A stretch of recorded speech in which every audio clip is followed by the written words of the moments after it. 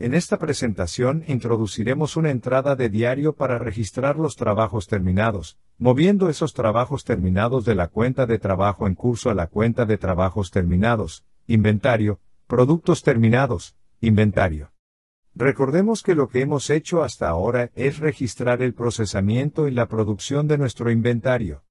La mayor parte de eso sucede en el relato llamado trabajo en proceso. Esa cuenta de trabajo en curso, este número en trabajo en curso está respaldado por empleos. Por lo tanto, este número debe ser compatible de manera similar a las cuentas por cobrar, las cuentas por cobrar, tener una cuenta de GL por fecha, pero también necesitar una cuenta subsidiaria por cliente para saber quién nos debe dinero. El trabajo en curso también tiene una cuenta de GL por fecha, pero también necesitamos conocer este trabajo en curso por trabajo. Entonces, a medida que registramos los costos que se van a aplicar al inventario, los aplicamos directamente al trabajo en proceso, si sabíamos a qué trabajo iba, como los materiales directos y la mano de obra directa, o teníamos que asignarlo a los trabajos después de registrarlo primero en el cubo de gastos generales. A continuación, utilice una tasa de sobrecarga predeterminada para asignar la sobrecarga a los trabajos reales. Lo que estamos mostrando aquí va a ser un poco una hoja de costos de trabajo condensada. Así que tenemos como, estas son hojas de costos de trabajo condensadas. Trabajo B, 15, B, 16, B, 17. Tienen aquí, B, 18 y B, 19. Todos ellos tienen los tres componentes principales. Tenemos los materiales directos, la mano de obra directa y los gastos generales de la fábrica. Y si sumamos estos tres componentes para cada trabajo, obtendremos los totales aquí, el total para cada trabajo. Así que este es el costo de cada trabajo a medida que avanzamos, este es el costo hasta ahora. Ahora, cuando todos esos puestos de trabajo estén abiertos, entonces, como lo han estado hasta ahora, vamos a decir que todos están en trabajo, en proceso. Hasta ahora no tenemos nada en productos terminados. Y así, todos estos trabajos al principio de aquí eran puestos vacantes. Todos van a estar compuestos o juntos para llegar a los 13, 150, en otras palabras, si sumamos estos empleos, vamos a decir que el costo total del trabajo es 3.820, más 2.790, que es este artículo más 2.024, más el trabajo B, 17, que es 2.126 y el trabajo B 18, que es 2.390, eso nos va a dar nuestros 13, 150, así que ese es el caso cuando todos están abiertos. Ahora bien, hay tres formas básicas en que un trabajo puede estar abierto y todavía estamos trabajando en él, lo que significa que va a estar en trabajo, en proceso, o puede estar cerrado porque ya hemos terminado con él. Así que voy a llamar a eso un trabajo cerrado, un trabajo terminado, un trabajo completado. Sin embargo, queremos expresar eso. Vamos a decir que está completado y, por lo tanto, debe pasar del trabajo abierto a los trabajos completados. Y vamos a decir que estos tres de azul de aquí son los que se han movido vamos a decir que todavía tienen una hoja de costos de trabajo. La hoja de costos del trabajo se ve muy igual, pero está hecha. Ya no estamos trabajando en ello. Ya no le añadimos más materiales, mano de obra y gastos generales, porque ya se ha completado, mientras que estos dos trabajos, B18 y B19, siguen abiertos. Entonces, lo que tenemos que hacer es hacer una entrada de diario para esa transacción para moverla aquí. La entrada del diario es bastante sencilla, porque se trata de dos cuentas de inventario. Solo tenemos que trasladar esto aquí, pero tenemos que ser capaces de respaldar eso con las hojas de trabajo. Y eso es lo que se vuelve un poco complicado, porque vamos a usar estas hojas de trabajo para respaldar y respaldar tanto el trabajo en proceso como los productos terminados. Así que la entrada del diario, de acuerdo con los números que tenemos aquí, vamos a decir, está bien, estos tres empleos azules, vamos a movernos. Así que va a ser el 3820, más el 2126, más el 2790, así que van a ser estos tres artículos aquí, y vamos a moverlos, y vamos a ponerlos en productos terminados. Así que hagámoslo ahora con una entrada en el diario antes de hacerlo, sin embargo, solo quiero recordarnos cómo se han visto las hojas de costos de trabajo completas que hemos estado mirando. Así que estamos simplificando estas hojas de costos de trabajo aquí para darnos una hoja de trabajo simple con la que trabajar. La hoja de costos del trabajo que hemos estado analizando puede ser más detallada dependiendo de los tipos de sistemas de costos del trabajo que estemos ejecutando, pero tienen los tres componentes, materiales directos, mano de obra directa y gastos generales.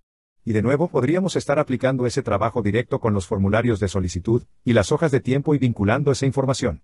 Pero en esencia, por supuesto, vamos a terminar con materiales directos totales, mano de obra directa total y gastos generales, que son nuestros trabajos y luego vamos a elegir esos trabajos, como lo hicimos aquí.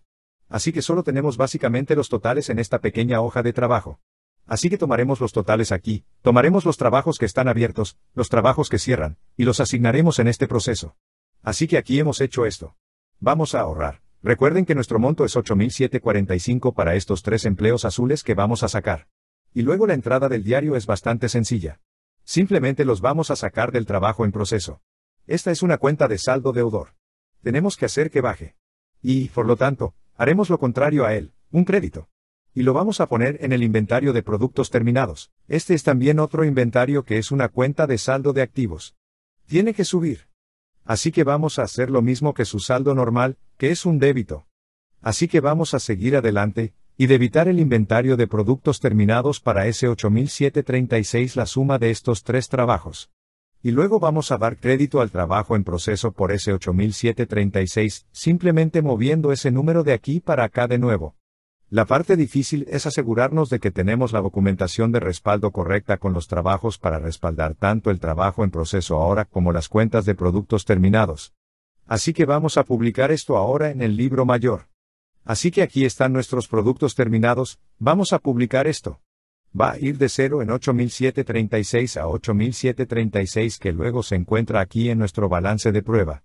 Así que aquí está nuestro balance de prueba final hasta ahora, y luego tenemos nuestro trabajo en proceso. Vamos a darle crédito. Así que fue a 13, 150 que vamos a acreditar por ese 8736 moviéndolo hacia afuera, y hacia abajo a 4414, y eso por supuesto, es la cantidad que vemos aquí en el balance de prueba. Así que ahora acabamos de dividir este número entre, en esencia, esos dos desglosando los que son productos terminados en función de los trabajos que ahora se han completado. Por lo tanto, si nos fijamos en nuestros productos finales ahora, vemos que el sistema de costos laborales ahora está respaldando estos dos números. Y solo para verificar que dijimos que los números azules ahora son los trabajos terminados, que una vez más, es el 3820, más el 2790 más el 2126 que va a ser este número, este número, y este número suma este 8007, 36 y los trabajos que aún permanecen abiertos entonces también están respaldados por estos dos números, 2390 y el 2024, así que van a ser estos dos puestos de trabajo abiertos, y eso va a estar representado por la cuenta de trabajo en proceso aquí. Así que ahora ambas cuentas están respaldadas por nuestras hojas de costos de trabajo. El siguiente paso, por supuesto, es que vamos a vender algunos de estos, y ese paso será similar a una empresa de merchandising endeudada. Finalmente tendremos este inventario de productos terminados. Puedes pensar en estos trabajos básicamente como bienes terminados, como el inventario. Este es el costo de ellos ahora en productos terminados, y podemos, justo cuando los vendamos, tener la entrada normal en el diario, y lo veremos la próxima vez. Sin embargo, solo para tener en cuenta, cuando lo vendemos, a menudo nos olvidamos y nos confundimos en la mitad de ventas de la entrada del diario, y el costo de los bienes vendidos porque nos hemos centrado tanto en el costo que en realidad nos estamos enfocando cuando lo vendemos, en el componente del costo de los bienes vendidos, el componente de ventas. Todo lo que estamos rastreando aquí no tiene nada que ver con las ventas, sin embargo, podemos usar la hoja de costos del trabajo para las ventas, pero estas hojas de costos del trabajo no tienen nada que ver con las ventas y, por lo tanto, no están relacionadas directamente. En otras palabras, podemos, por ejemplo, usar nuestra hoja de costos del trabajo como construcción de nuestra factura y decir, nuestra factura, mira, teníamos tanto en materiales directos, tanto en mano de obra directa, tanto en gastos generales. Y podemos decirles a nuestros clientes que tenemos un margen de beneficio del 30 o 40%, y decir que el precio de venta sería 23.902.390, multiplicado por un margen de beneficio del 30%, punto 3 más el 2.390, y luego cobrar 3.107. Esa es una forma en que podríamos construir la factura. Pero no necesariamente tiene que construirse de esa manera. Y cuando hacemos la entrada en el diario, tiene dos caras. Va a haber débito de las cuentas por cobrar o en efectivo y acreditación de las ventas que no tienen nada que ver directamente con estos números, y el otro lado es el débito del costo de los bienes vendidos, el crédito del inventario, en nuestro caso, el inventario de productos terminados. Esa entrada de diario debería resultarle familiar si ha trabajado con empresas de comercialización. Pero, de nuevo, dado que no hemos estado mirando esa entrada del diario todo el tiempo, y solo nos hemos centrado en el costo y no en los ingresos, podemos confundirnos en esa entrada del diario, así que eso es lo que haremos la próxima vez.